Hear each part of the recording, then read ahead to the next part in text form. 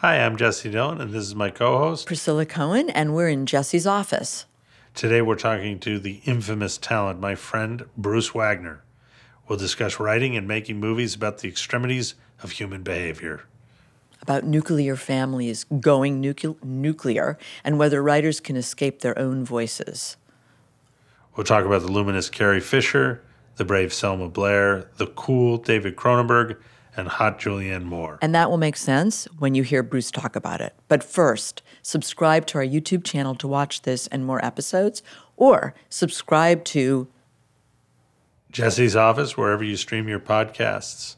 Feel free to leave comments and reviews. I try to respond whenever I can.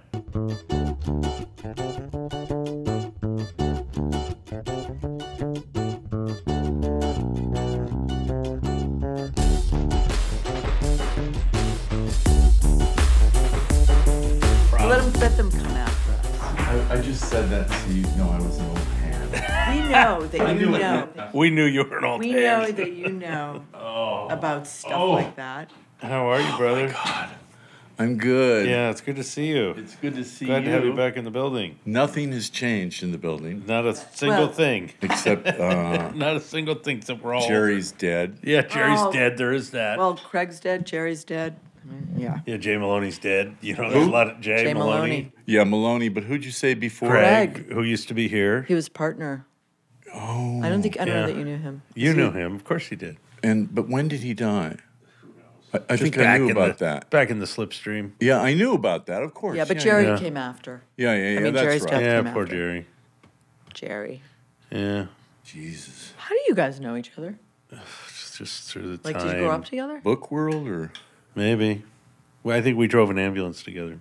I don't know how we knew. How we. I- now, what is this podcast? How long you been doing this? Uh, very while. recently. I mean, or probably A little while. a while. A couple of little couple while. Like like ten podcasts ago. wow. yeah, we're doing because a I bunch. thought It's you guys like a cool be thing. desperate if you We send are. me an email. Oh, you kidding? We're excited about you. I'm excited Yeah. about you being here Yeah. for sure. Well, we're you're gonna help us figure out actually what it's about. Well, you know, I mean, you're a creature of Hollywood. You grew up here. One of the few people like me who grew up here. Yeah, yeah. But we haven't started yet. Oh, yeah. yeah, no, we we started started, when while you sat down. It's already almost over. We're halfway done. Okay, that's good because I'm going to excuse myself. Yeah. Uh, yeah, yeah, um, yeah. I'm not a carpet bagger. You know what I mean? but I mean, there must be, there is something magical about this place. You know, it's like you're a novelist and you write about this place. It's like, you know, I, I still have on the wall over there a picture of you with, uh, with, uh, you know, um, what's his name?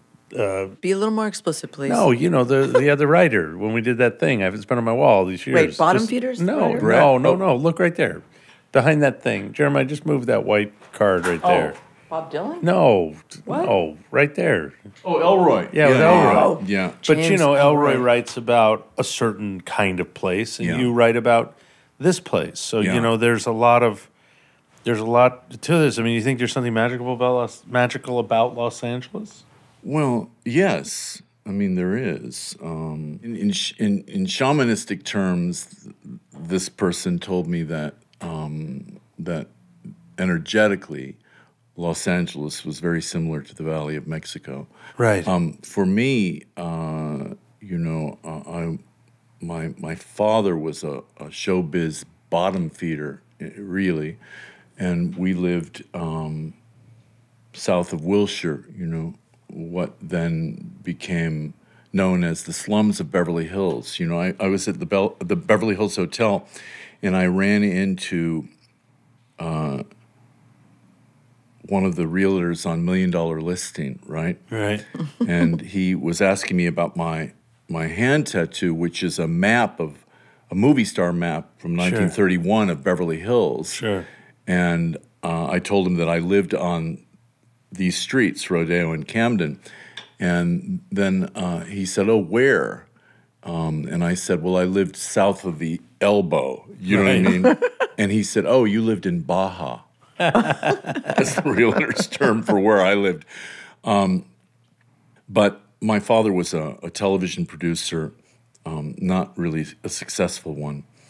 And I, early on, um, had a real taste, intuitive, and artistic for the extremities of human behavior. You know, so my So- books are about the extremes. They're they're the spiritual and, and the pornographic and, and and heinously violent. You know. you know they, they it seems like at the center of your work is always a a dysfunctional family you know it always seems like that's a running theme through your work there's always some dysfunctional group of people who are trying to communicate and having difficulty you know um, Yeah. uh, does that seem right Yeah, I, I mean, I, I don't know. You know, there there are many themes that are um, consistent in my work. One of them is madness. You know, right um, characters losing their minds through um, a repetitive failure, uh, an embarrassment of failure, uh, or through drugs right or inherited psychosis. Um, another stalwart um, part of my work are damaged children, you know, right children who are either um, have a fatal illness, um, an exotic illness, uh, children that are, are sexually molested and um, are dying in a sense uh, from the, the nexus of that event. So you could say that drama one there is no real drama ab- about families that are um, all that are all right. Right. You know what I mean? But uh, I think as a, a germ in my work, it's often my work often includes a nuclear family that is gone nuclear. You know. let's just look at this for a second i just want to get your opinion on this you remember this of course That's Oh. from that's from Caddyshack. no? Yeah, that's from Caddyshack. Actually, Bill Hold Murray on, was here's- amazing. I'll never desert you again. oh, hold on. Here she is. Tell me, tell She strikes me as a very. you This strikes me as a very Bruce moment. I haven't. Mr. Do you mind if I say a few words? Thank you. I just want to tell you all how happy I am to be back in the studio, making a picture again. You don't know how much I've missed all of you. And I promise you I'll never desert you again. Because after Salome, we'll make another picture and another picture. You see, this is my life. It always will be. There's nothing else. Just us. And the cameras. And those wonderful people out there in the dark. All right, Mr. DeMille, I'm ready for my close-up.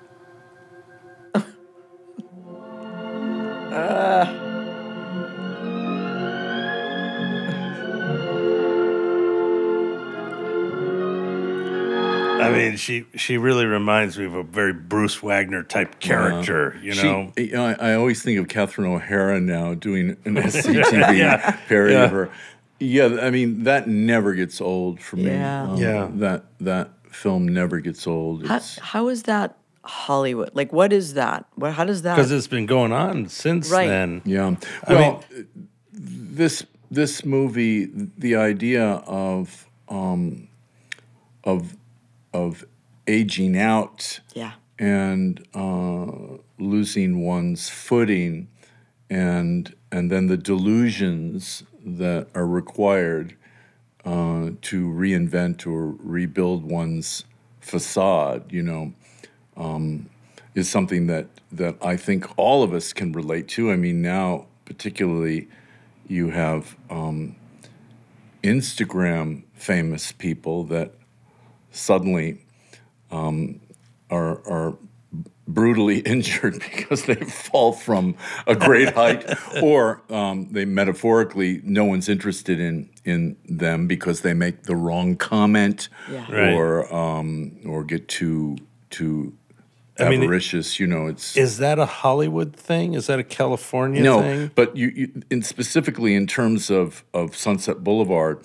this notion um, of of embarrassment and shame, uh, where one is has lost one's relevance or popularity, I think is is something that is heightened in Hollywood because Hollywood has such a bright light shown on that. Right. Um, but it's it's a very human uh, nightmare, you know, to no longer be relevant.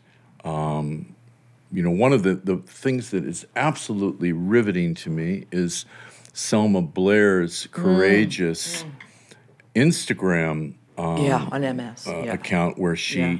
announced to the world that she had MS Yeah. and drew, draws you in to the daily um, drama, uh, sometimes, uh, often in a very lighthearted way. Right. But this this transformation from someone that was regarded as untouchable, uh, as we all regard ourselves as untouchable, this could not happen to us. This could not happen or be happening to Selma.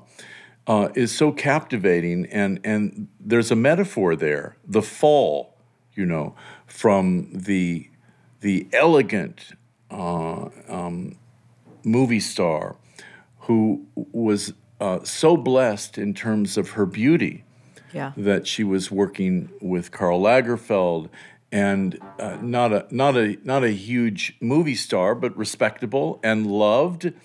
That this should be happening uh, to her uh, makes her a kind of sacrificial animal in a way, and uh, that is absolute uh, drama to me, Yeah. and and um, and and captivating, and it encapsulates a lot of w- what we were just talking about. This fall, you know, and and how does one? Certainly, Selma is not delusional. She's the opposite of that. She's um, she's candid.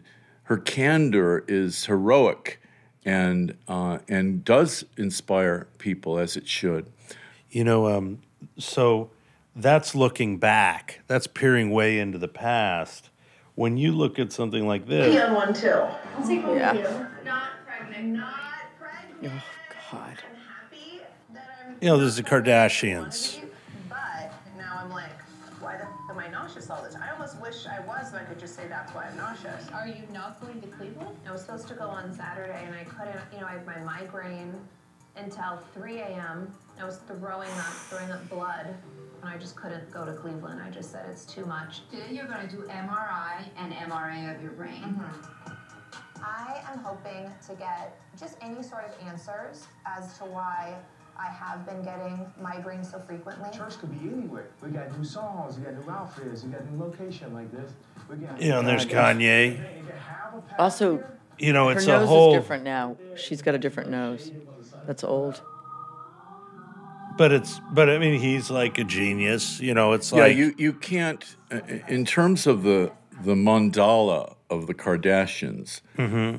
it, it's impossible to to best it. Right. It's impossible to come up with something more brilliant in a fictive way. right. Um, you have Kanye, who is. I, I agree with you. I, I really adore him, Right. and and his the bipolar aspect. Yeah.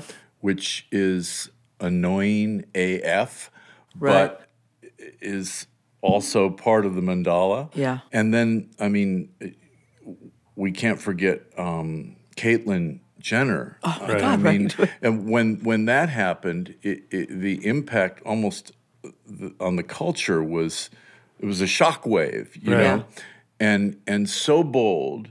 Uh, so the the the Kardashians, you know, have hatched all these new children. I mean, it's just uh, it, as long as it it's a, a, a reality show for me that um, that's that it's a novel that I, I want to read again. And I mean, forget um, Carl Ove. You know what I mean? Uh, The Kardashians to me have it all. Right. And uh, you know, so I'm impressed You know, death. yeah. With with them. You I know? mean, you know, it's like, does Trump push them to the side, Or is are they- Trump a result of? Is he president because of? Did they pave the way? well, I don't think they paved the way. Well, I don't know. no, he's he's part of their show. yeah, They're not part of his show. yeah. Um, uh, these extremes. Have you always been sort of attracted to the extremes of these behaviors? Yeah, i- i- for me, you know, I, I think my, my work has been misread or misunderstood often because what we seize on is not the epiphany and not the spiritual or the transcendent. What we wallow in is the, the darkness and the, the muddy darkness and, and the malignancy uh, um, of, of sides of human behavior. For me, I, I would rather um, die than only portray the malevolent uh, side of what we as human beings are capable of. There's no if there's no redemption, no transcendence, um, then I, I I would take a pass. But I think often my work is is um, summarized as um, the bleakest uh, parts of of uh, of Hollywood and of human nature, you know. But I don't see it that way at all. I never start a book without knowing that there will be transcendence, that there will be a journey that will be transcendent. So a book like Memorial, like how does that start? You know, how do what's the first line of the first page before there's anything? You know, it's the same process for me. I'm like a stroke victim Right. who uh, is slowly working his way back in rehab Right. to that day when I leave the hospital. And leaving the hospital is that day that I actually begin a book. Right. And every time I forget how to write a book, Yeah. I, I look at the books in front of me like an uncle wrote them and sent them to me. Right. And, and I'm saying, how the f- did my uncle do this? I could Right. never do this. Right. And then slowly, some themes emerge that are Right. so compelling to me that uh, there's something so beautiful um, in the resolution of these themes that I, I am then forced to begin the book. So what would be a theme that would attract you? Just just in a broad stroke. Like when you say a theme, it's like, you know, oh, I want to deal with violence in this book. I want to deal with, you know, a heartache. I want to deal with regret. I want to, you know, what how do you what's a theme? Yeah.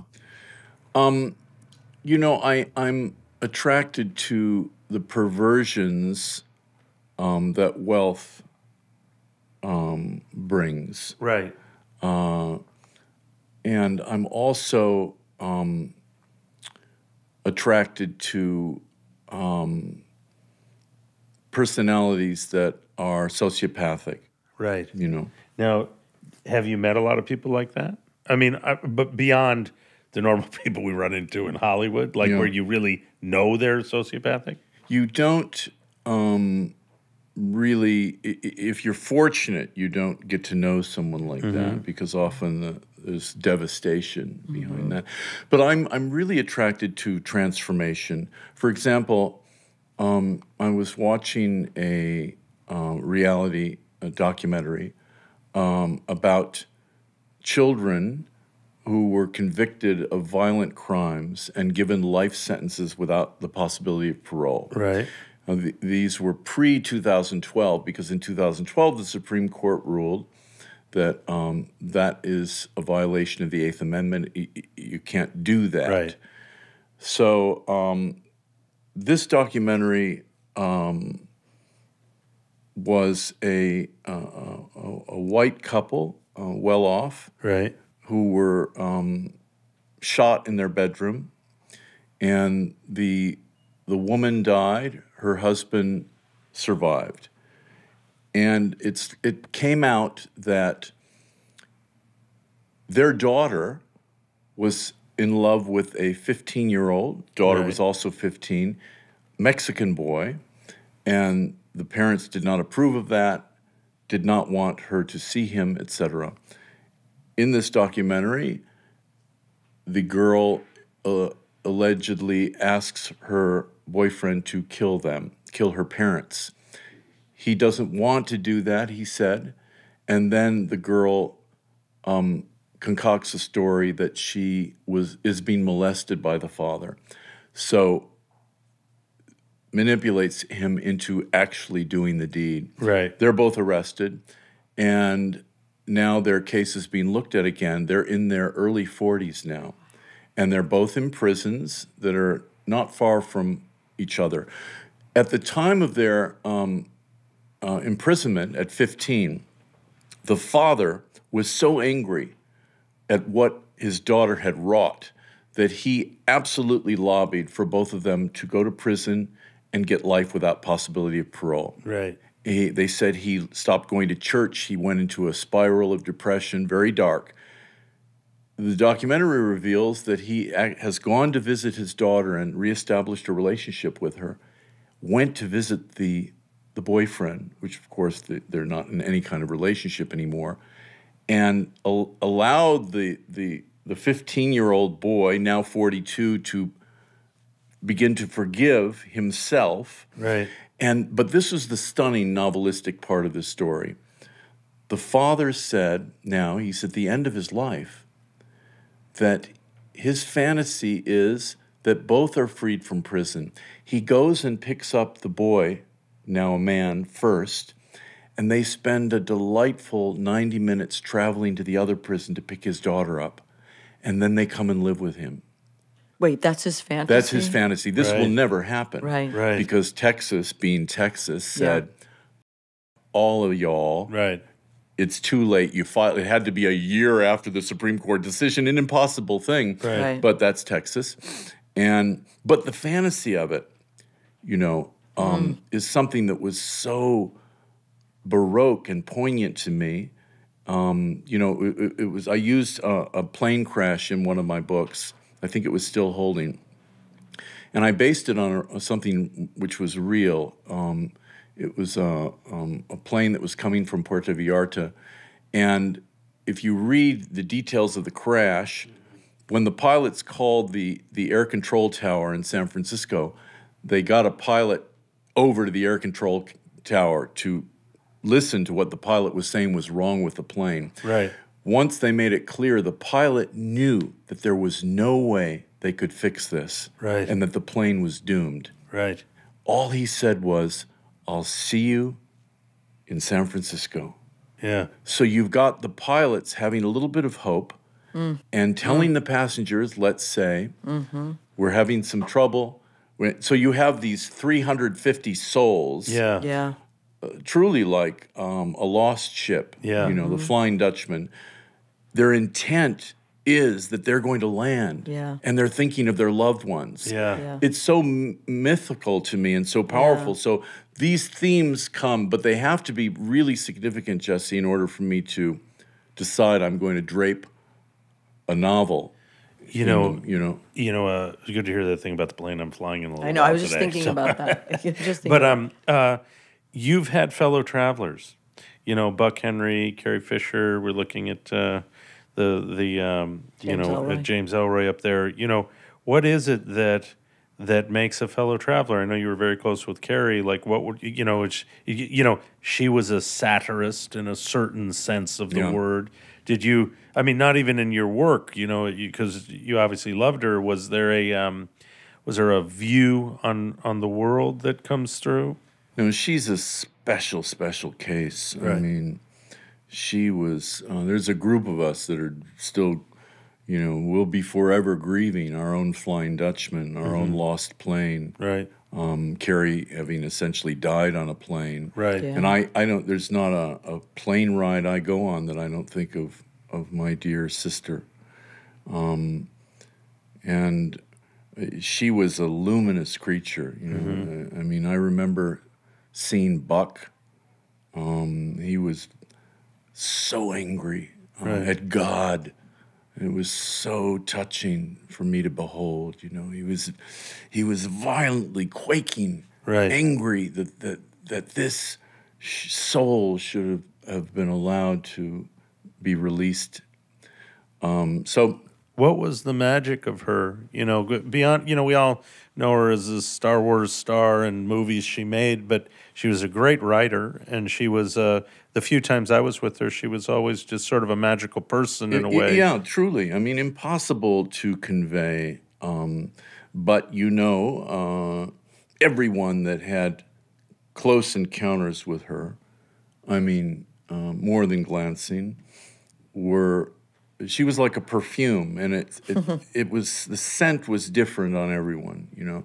So she she she was a, a, a genius, Carrie, not only uh, um, cerebral but uh, soulful and um, You know, usually with people like that, there's a because they're so good at what they do. There's a there's a kindness. Is there a deep kindness? Oh, generosity. Yeah, Yeah. yeah, yeah, absolute generosity. So, you know, but I, I, you know, I don't talk. This is the first time I've ever talked about her.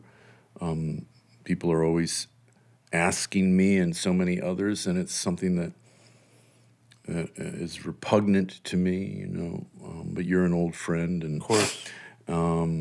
so yeah, I mean, there will never be the likes of her uh, again. It's that the ultimate cliche, you know, which which uh, I don't even like to hear that cliche, but it's the it's what comes to mind with her, you know. I have a question because themes, you say themes, but then your characters are so vivid. So are the characters coming from these people in your life as well? No, not at all. Do you do you know them? You know, uh, Dickens used to say that he knew his characters. Oh, absolutely. You know, But Yeah. you, they, they, You know, they do- come in from, so how, where do they come from? Well, I mean that's uh, an unknown, you know. But but the beautiful thing about when when when you write a book, when I write a book, there comes that wonderful moment when um, the the character is writing you.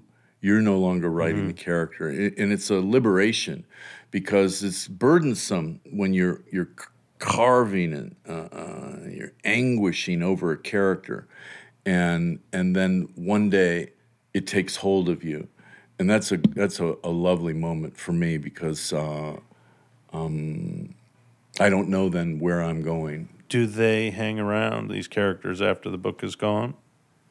No, Mm-mm. I, I think it's probably like an actor doing a movie or something, you know. Um, when did you meet David Cronenberg? And and was it? Did you obviously he's one of our great auteur directors, maybe one of the very few that are left. I mean, there's Quentin Tarantino and a few others, but Yeah. there's not many. Yeah. Um, do you remember when you met him? And Yeah. What and and what was? Uh, did you immediately recognize a kindred soul? Well, uh, I, I loved his movies so much, and um, we had the same agent at a certain point, John Burnham, Right. and I knew Burnham from high school, you know, uh, and he I think had mentioned to me that that David liked my work. You know, David's very literary, uh, has famously said or infamously that he was more influenced by books than than film. Sure. So I um, I wanted to do something with David, you know, and there was a section of the first book I wrote, Force Majeure, called Wild Psalms, and it was about a Holocaust survivor impersonator, you know.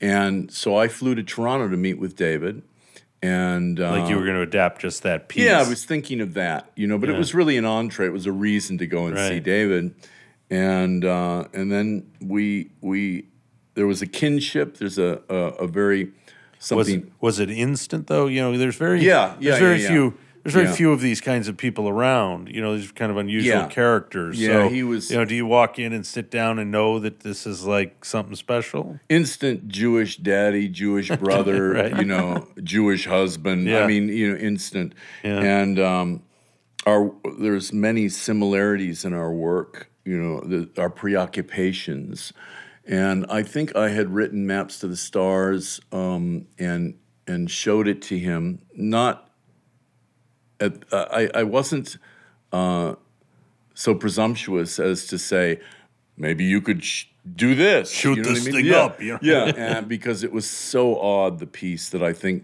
i was a little gun shy but i showed it to him the way i would show him a novel or a novella and he uh, he didn't say much about it but he Mm-hmm. he somehow it, it, it lodged in his head Mm-hmm. and maybe 10 years later he said um, i'd like to do this You and then it um, fell apart and Yeah. then it was another eight years or something like that you know When you give a movie like that to an artist like Mm. that, you know, your what's your role on the set? Because he's not he's not going to change your words. So what's his what's his what's he counting on you for during the process of making the movie?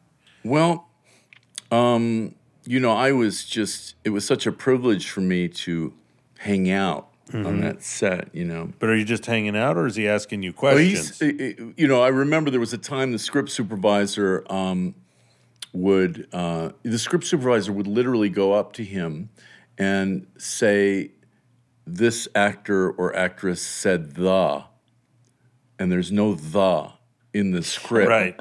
Do you want her to do it again, or are you okay with it? Sometimes he would say, "Do it again." right. And it was a, a certain point where I asked the script, script supervisor, because I had some nervousness on the set. Uh, I said, "What are what are you doing next?" And he said, very Canadian but very earnest. He said, "It's what are we doing next?" You know, Right. you're part of this, Right. And that was a a, a, a lovely moment for me. But David would ask me um, certain things. I mean, he knew exactly what he was doing, so it was never like But would he say like, well, you know, what was your guy thinking about in this moment? No, no, no, no, no. So it would be like, I mean, what would it be like? Well, how big do you think the house is? Or no, no. It would be more um, like he he. There would be continuity issues in terms of the script, something Right. that suddenly for him didn't make sense. Right. And I would either agree or disagree. Right. Uh, most of the time, agree because he's been doing this for so long. Or um, I would say, you know, um, Scientology is um, going through a, a controversial period. So this line where uh, Robert Pattinson says he's thinking of becoming a Scientologist as a career move, mm-hmm. does that no longer make sense? We would discuss that. You know, so it was things like that. But for the most part, I was along for the ride. I mean, I just a front row seat and, and loving it. you know. And and what did you see there? Because you know you've been on a lot of sets, so this is somebody different. And you know I've I've been on sets and seen really amazing directors make great choices, and you know there's something different when you're sitting with them. Were did you did you feel something different about how he thought about about making a movie because he's made so many? Well, David um, is very cool. You know, Julianne Moore said this. There's, you know, my is hot, and David's stuff is very cool. Yeah. So th- that synthesis um, was good for me to watch. In other words, he would make decisions. You know, my impulse is always to go toward the, the Grand Guignol and the Baroque, although there was plenty of Grand Guignol in, in Maps to the Stars. But David was extremely, um, almost poetically scientific about what he was doing and absolutely fearless, you know. Um, How fearless? What do you mean fearless? well, uh, the the material that in Maps to the Stars was confounding to critics at times because it was um, they couldn't understand the the that there could be the a nuance that there could be a collision of genres such as something that is dreamlike which i thought the whole movie was a fever dream and yet satirical you know so critics like to say well what is it is it one or is it the other Yeah. you know Right. is it children of paradise or is it the player you know what I mean? Yeah, yeah, yeah. and and it was it was a Cronin Burgundian, as we Yeah. put it, um, um, melange. You know, so David was fearless in that sense. Does not absolutely does not give a about um, anyone's interpretation or critique, uh, and has a very very clear, uh, almost rapacious vision of what this film or whatever film he's working on should look like. You know. You know how how much do you when you're sitting and writing a book? How much do you do you think back on other books by other writers? Are there writers that do you go like, uh, okay, I'm going to look at Dostoevsky, or I'm going to look at Gogol, or you know, like, is there are there writers that are are No. breadcrumbs for you? No, you know, I think when I was 15, I read a quote from Norman Mailer, and um, it stuck in my head all Yeah. these years, you know, 50 years later. He said, when you're working on a book, it's like you're you've got your car up uh, in a rack, and and the engine's out, and you're just covered in grease. You don't want to look up and see a Ferrari zoom past. you Right. know.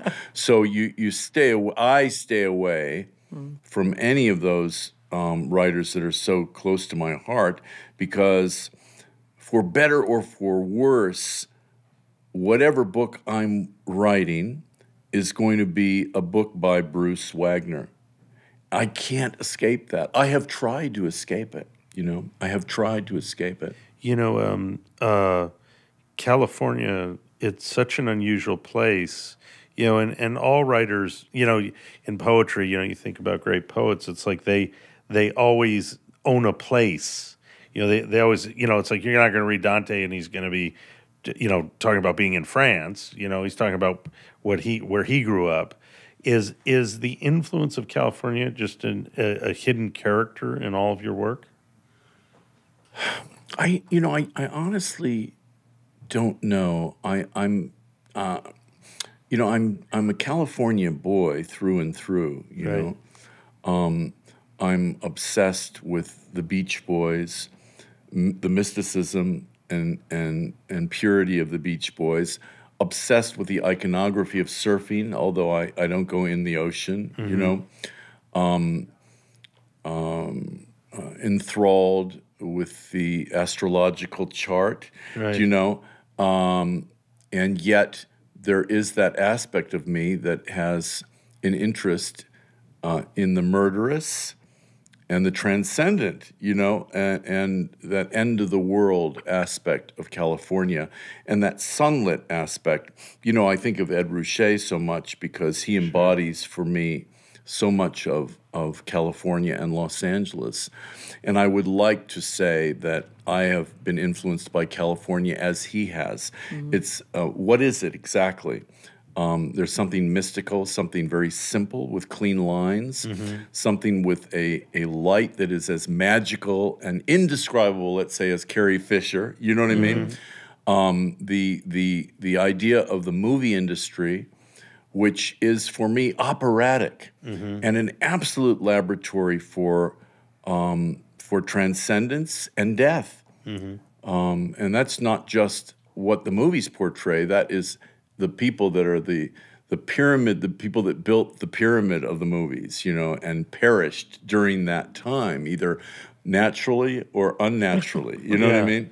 Do you do you when you say murderous, how do you study that? How do you learn about the things that you might write about about sick children or dark things that have occurred? Well, you know, I think y- y- you have you're born with a predilection. You know, um, like for example, I, I was um, reading um, Denis Johnson the other day, Jesus' son, and I came to that quite late.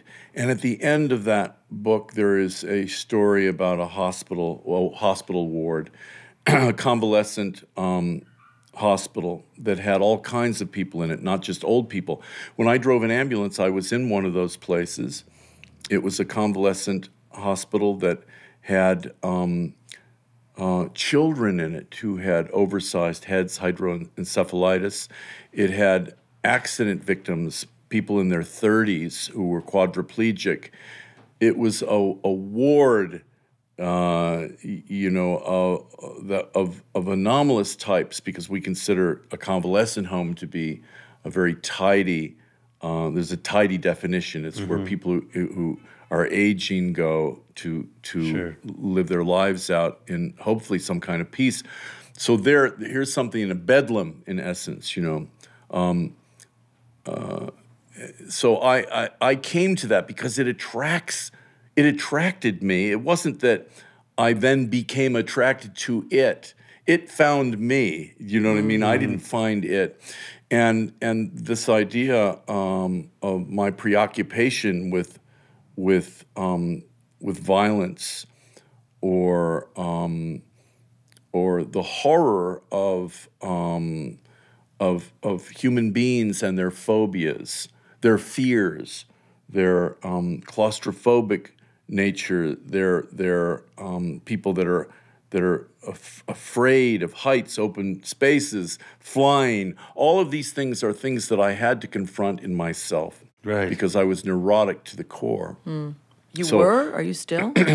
I don't think so. I don't think so. I mean, um, the the artist's prerogative. I, I have my bad days, but I think, and it's not that I purged those fears, but I certainly confronted them in my fiction, and that was very that was a very powerful fuel for me. I, I confronted my anger.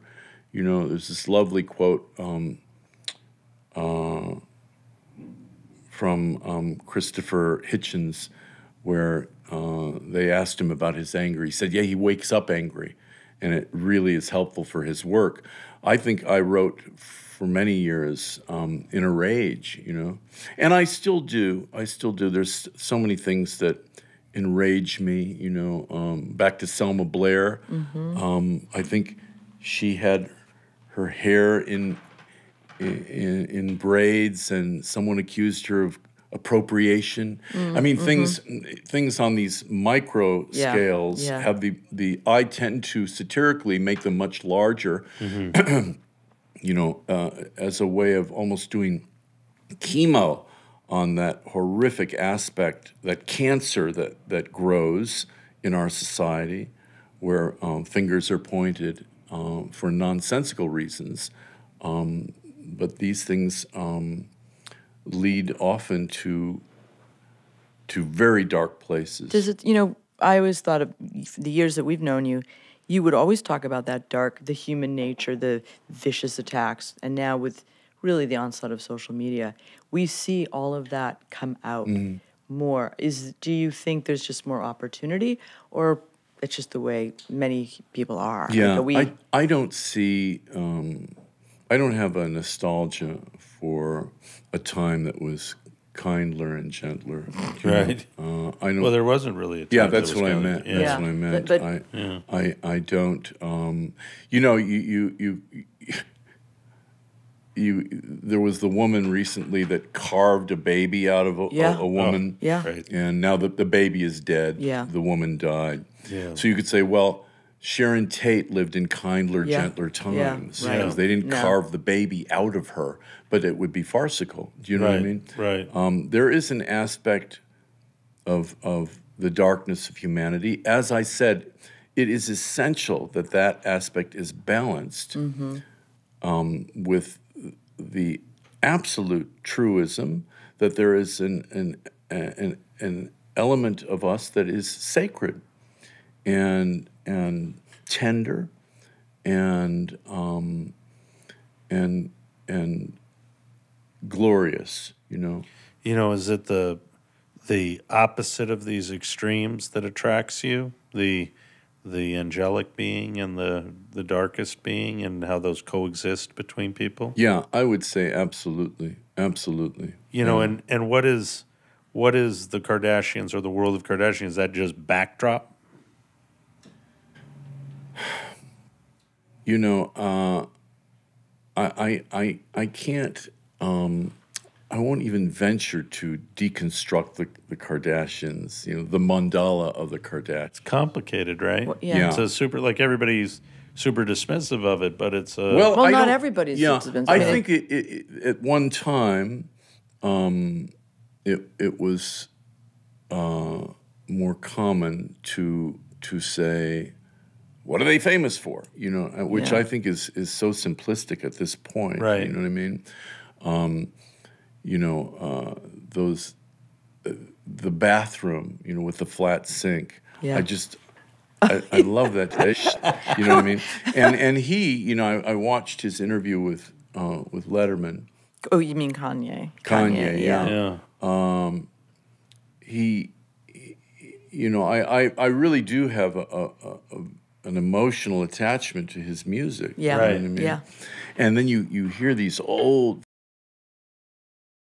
these rockers, you know, hmm. say, "Oh, I, I, I don't get it," you know. Yeah, I mean, you know, because they're not listening. Right. Yeah. You know, yeah. his love of language, Yeah. and Sure. he has that sacred Yeah. and profane Yeah, aspect to him, Sure. which is so attractive to Yeah. me. You Yeah. know? Were you were you shocked when you know the downfall? Although he hasn't really fallen, really, Harvey Weinstein and the entire kind of disintegration or the ma- things coming around with with everything that happened in Hollywood recently, and then it Well, accelerates out. No, I wasn't shocked.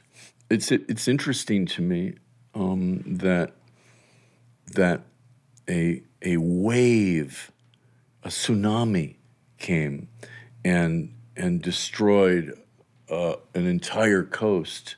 You know, Yeah.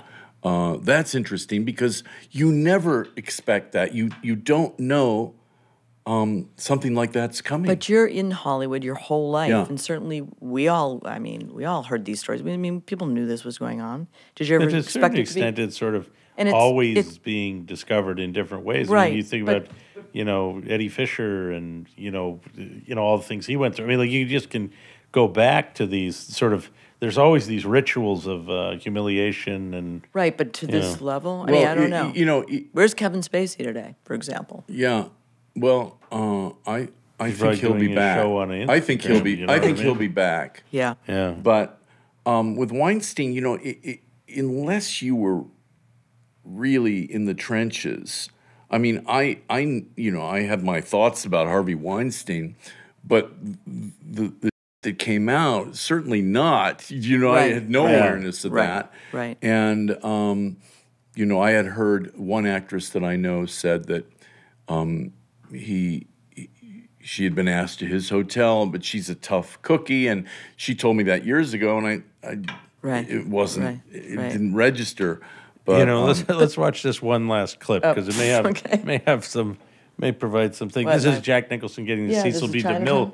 Award. Oh, wow. right. But it, it- but I I saw this clip and I thought of you because he Oh. does this one thing that reminds me of you. Uh, I- I've come to the Golden Globes forever before I was invited, before, before it was on television, and you know, but before television, it was wild.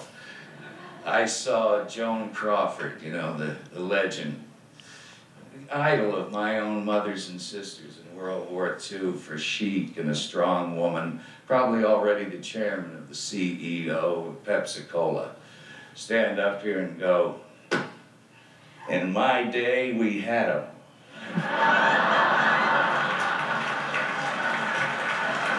And I, I saw Rita Hayworth come sauntering down the center stage some stripper music, you know, turn her back. Press back over her back, I'll tell you. What a sight. I almost wept.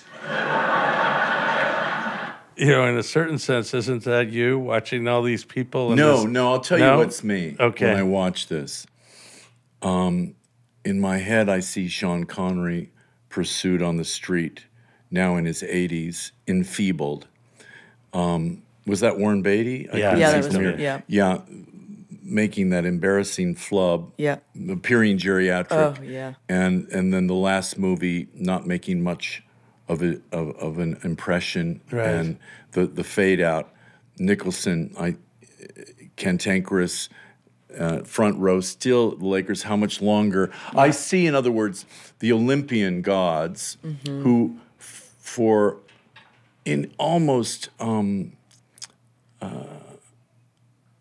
uh, an amount of time that cannot be quantified, are famous and and wealthy and and powerful. I remember barely, but watching something like this, and it's so present. And now it's new. It's it, it will become a newsreel, and everyone will be dead. So, It- so is that about impermanence? yeah, yeah. In other words, the the you know um, Everything is everything is a is is is a dream. Is a dream. So this is the the the trick of this life, is you you love and you care deeply, uh, and yet it's a dream that that you will awaken from um, into another dream, uh, and and so all of the the the anguish, the absolute misery, the depths of horror that that we feel, um, you know, the the uh, is uh, is a, a famous Buddhist quote, like the death of a child in a dream. Do you know what I mean? Right. So one one has to somehow keep one's sanity by uh, the, with humility. You know, I'm, I look at that and I don't I don't say, oh, these foolish people. No, I I you know I love Nicholson in my day as much as as everyone did, um, and so it's not that, but you have to have the the humility when you're writing about uh, impermanence, um, that fame is, is attractive. Uh, you know, there, there was a, a story that I've often quoted where um, a, a, there was a, a Buddhist monk that wanted to be the most famous recluse, you know? Right. That was his aspiration. And, and I, I, uh, it has been written in Buddhist texts that the desire for fame and approbation is the most difficult thing to shake. It's harder than the desire for riches, for revenge. It, it, it's the last one to go. Do you know what I mean? right. And and so we have to realize that in the dream, the, that's why it so attracts me. The, the the this dream of Hollywood, this dream, this impermanence, uh, uh, this impermanent notion of fame. You know, it it it it captures me. You know, that's why the, the Selma Blair thing is is so uh, staggeringly moving and um, and lovely in its way to me. You know, no no morbidity about it at all. Nothing Yeah. morbid about it at all. Yeah. It's the truth. You know. Yeah. Bruce, thank you so much for coming you, in and doing this. It was great. Thank you. Yeah. Thank you. It's Yeah, yeah. lovely. Yeah. Fun. Good. That was great. Thanks for watching or listening. Don't forget to subscribe. Click here for the Here. next episode. Here.